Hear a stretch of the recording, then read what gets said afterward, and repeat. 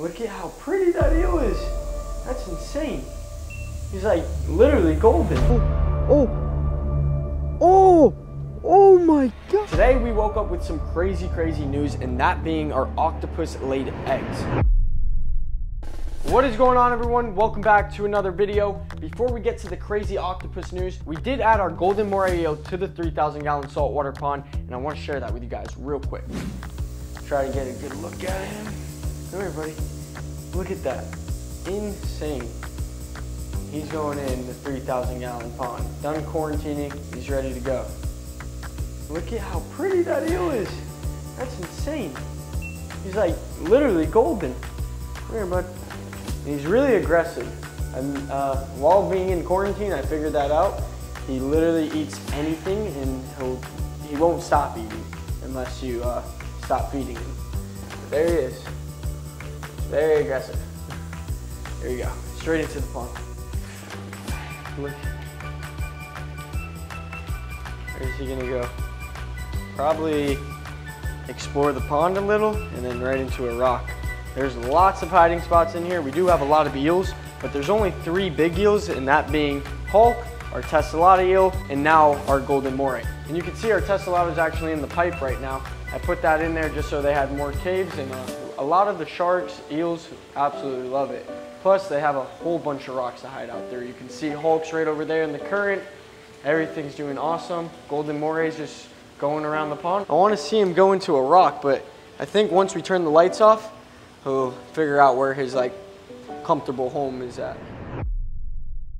Today we woke up with some crazy, crazy news, and that being our octopus laid eggs. And if you come right over here, this big rock in the center, it's kind of hollow, but that is where she decided to lay her babies. You can see them tucked up right there.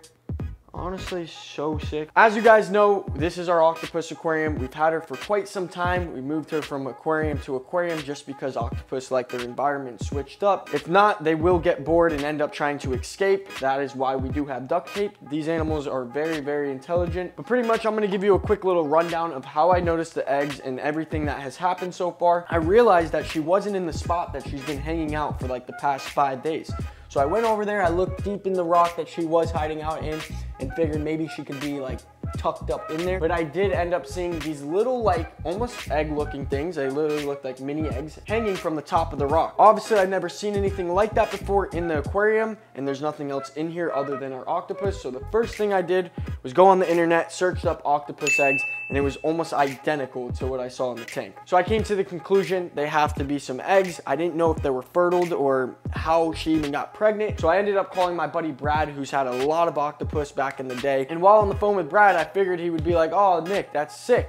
But actually, I got the complete opposite response. He was like, Nick, that is not good. And I was like, why? He was like, well, once an octopus lays their babies or their eggs, they end up dying. So they're an animal that pretty much reproduces one time. And then after that, they slowly just stop eating and then slowly get really depressed and then just slowly pass away. It's honestly pretty sad, but that is the life cycle of an octopus. So after talking to Brad Moore, I asked him, how do you think our octopus got pregnant? Just because obviously there's no mate in there for her to mate with. But then we came to the conclusion it could have happened out in the wild. It takes an octopus a full 60 months to be pregnant, have the babies in them, and then to lay them. So that's pretty crazy because obviously we haven't had her that long. So what I'm thinking is she probably got pregnant out in the wild. Once we got her in our aquarium, she felt a lot comfortable, felt as if there was no predators, and then she can lay her babies. And that is exactly what she did. She has a pretty awesome home. I have a ton of caves for her to go in and explore around. I even put a little mini Rubik's Cube in there. And like I was saying before, they are very intelligent. And this octopus, I put the Rubik's Cube in there thinking maybe she can solve it. Well, once I put it in there, the next day I saw her actually trying to figure it out, but she didn't end up solving the whole Rubik's Cube. She did move some of the pieces around. She had it actually in her hand, which was pretty cool, or tentacle. So that just shows you that they are really, really smart. They, they're not just, most people think they're just like a fish, but some of these things are smarter than most humans.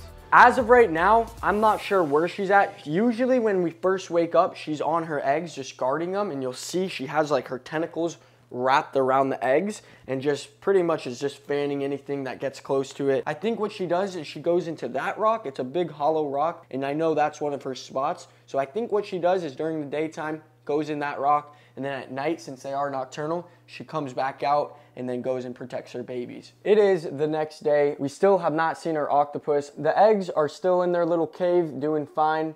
I'm not sure if she'll just leave them to do their own thing, but I'll definitely keep you guys updated throughout their whole process. If you have any info, comment down below and let us know. But the other day, we went out and we saw a bunch of little baby squid and we even saw them feeding, and I want to share it with you guys.